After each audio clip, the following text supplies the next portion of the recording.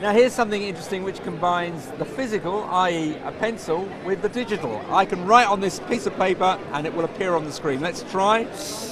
Hi, I'm Rory.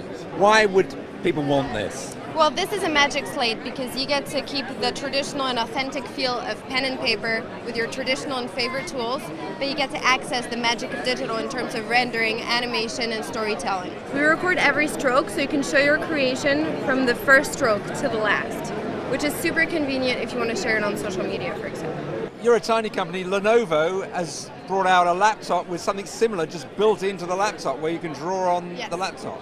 Yes.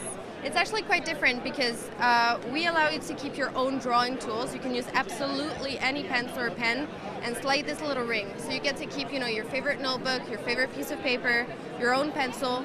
We don't enforce a stylus or a special tool to actually draw, create, or navigate. You can use your own, and this is where, you know, the magic happens, basically.